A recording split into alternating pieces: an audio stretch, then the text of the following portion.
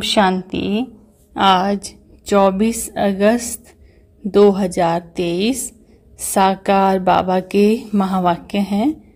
मुख्य पॉइंट्स में बाबा कहते, बच्चे, मुझे बुलाते हैं। हे रहम दिल, हे मुक्ति, जीवन मुक्ति दाता, हे लिबरेटर, हे गाइड, हे क्रिएटर।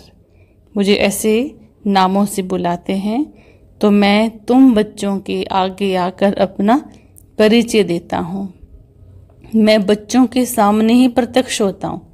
तो सोचो, हम सभी आत्माओं का कितना श्रेष्ठ भाग्य है कि हम सभी बाबा को पहचान पाए। है ना? तो बाबा कहते, दुनिया में गाते हैं, नैया मेरी पार लगाओ, आप खिवैया हो, आप बागवान हो बहुत महिमा करते हैं, लेकिन पहचान नहीं पाते। मैं तुम बच्चों के आगे आकर तुमको सम्मुख बैठाकर सृष्टि के आदि मध्यांत का ज्ञान देता हूँ। और बाबा कहते, मैं धोबी भी हूँ, धोबी कैसे हूँ? तुम्हारे मूत पलीती कपड़े, माना गंदी पतित आत्मा को धोता हूँ, शुद्ध बनाता हूँ। तो मैं सुनार भी हूँ। सुनार कैसे? आत्मा रूपी सोने पर जो गंदगी है, विकारों की खाद चिपक गई है, उसको योग अग्नि के द्वारा बाबा स्वच्छ बनाते हैं। और बाबा खिवैया भी है। हमारे जीवन नैया को पार लगाते हैं। और गाइड भी है कि हमें इस दुनिया से निकाल सत्य की दुनिया में ले जाते हैं। तो बाबा कहते, देखो बच्चे तुमको उस दुनिया में जाने के लिए पावन तो बनना है। अब सन्यास लोग करते हैं, देखो दुनिया में दो प्रकार के सन्यास, एक हद का सन्यास।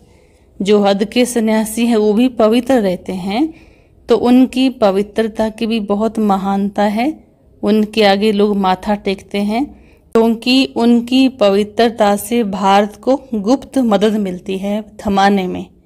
है ना? प्योरिटी ही संसार को चलाती है। कहते? तुम बच्चों को बहुत महावीर बनना है इसमें। माया बहुत तूफ़ान भी लाएगी, बहुत हिलाएगी लेकिन तुम्हारी अवस्था सदा एक रस रहनी चाहिए, अडोल रहनी चाहिए। मेहनत तो ज़रूर करनी पड़े। तुम तो लाइट हाउस हो। बाबा कहते, तुमने औरों को भी रास्ता दिखाना है। तुम लाइट हाउस हो। तुम्हारी पवित्रता ही संसार के लिए क्या है? बहुत बड़ी रोशनी है, मार्गदर्शन है। फिर बाबा ने कन्याओं के लिए कहा, कन्याएँ बहुत बहुत सौभाग्यशाली हैं, क्योंकि पवित्र जीवन में ही बाबा मिल गए। आगे बाबा कहते हैं, मीठे बच्चे अव्यविचारी याद से ही तुम्हारी अवस्था अचल अडोल बनेगी। अव्यविचारी माना सिर्फ़ एक को याद करना। ठीक है, आगे बाबा कहते पुरुषार्थ करो एक बाप के सिवाय दूसरा कुछ भी याद ना आए। क्या करना है? अवय विचार याद में रहना है, अवस्था, अचल, अडोल बनानी है, बाबा के सिवाय कोई याद ना आए। आज प्रश्न है, शिव बाबा कौन सी सर्विस करते हैं और तुम बच्चों को क्या करना है? ठीक है? बाबा क्या सर्विस करते हैं और हमें क्या करना है? उत्तर, संगम पर शिव बाबा सभी आत्माओं को कब्र से निकालते हैं। अर्थात, आत्माएँ जो देह अभिमान में आकर, देह अभिमान क्या है? कब्र है। इस कब्र के अंदर हीरा, मणि बैठी हुई है। इसलिए बाबा कहते आत्माएँ देह अभिमान में आकर पतित बन गई है। उन्हें पति से पावन बनाने की सर्विस करनी है। तुम बच्चे भी बाप के साथ साथ सबको शांति धाम और सुख धाम का रास्ता बताने के लिए लाइट हाउस बनो। तुम्हारी एक आँख में मुक्ति मुक्ति माना परम धाम, और दूसरी आँख में जीवन मुक्ति। जीवन मुक्ति माना स्वर्ग होने चाहिए। ऐसा बाबा चाहते हैं कि मेरे बच्चे चलते फिरते क्या बन जाए? म्यूज़ियम। एक आँख में परम धाम एक आँख में सुख धाम हो।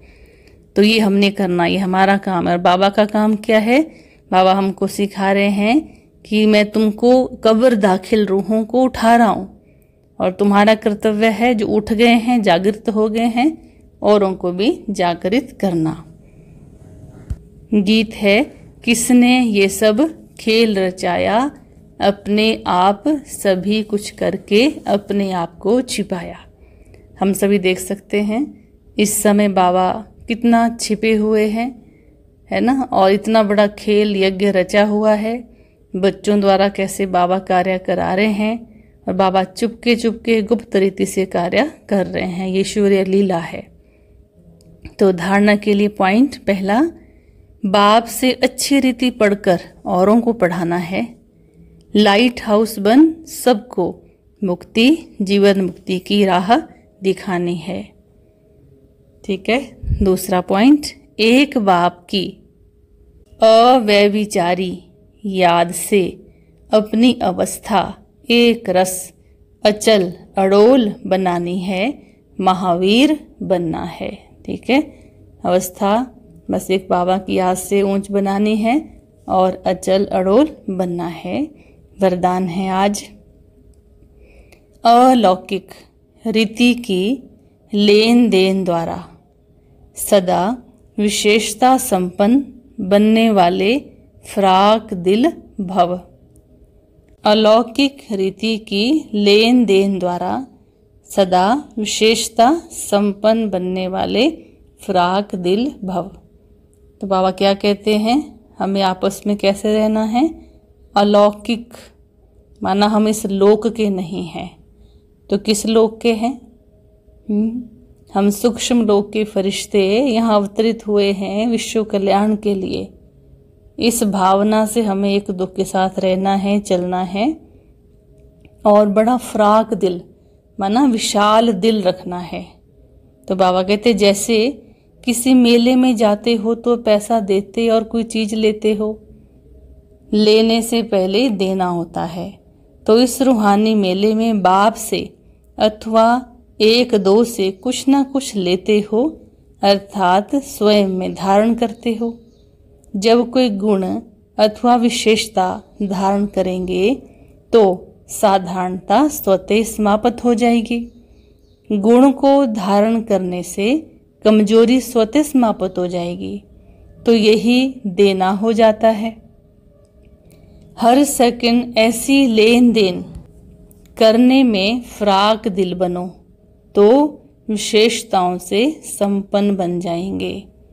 ठीक है? तो हम यदि अलौकिक रीति संसार में रहेंगे, फरिश्ता स्वरूप की स्थिति में तो क्या करेंगे? दूसरों की हमेशा विशेषताएँ देखेंगे और विशेषताओं का ही लेन देन करेंगे तो क्या बन जाएँगे? अलौकिक फराक दिल। माना बड़ी दिल वाले, जो छोटी दिल वाले होते हैं, वो क्या करते हैं? हमेशा एक दो की कमियाँ देखते और उनको वर्णन करते हैं। लेकिन बड़ी दिल वाले सिर्फ़ गुणों को देखते हैं अब गुणों को देखते हुए भी समा लेते हैं। स्लोगन, अपनी विशेषताओं का प्रयोग करो तो हर कदम में प्रगति का अनुभव होगा। बहुत सुंदर बात है। जो जो बाबा ने हमको विशेषताएँ दी है वरदान में, उनका हमें यूज़ करना है यज्ञ के हर कार्य में। तो क्या होगा, हमारी प्रगति कदम कदम पर होती जाएगी और हम आगे बढ़ते जाएँगे। ओम शांति।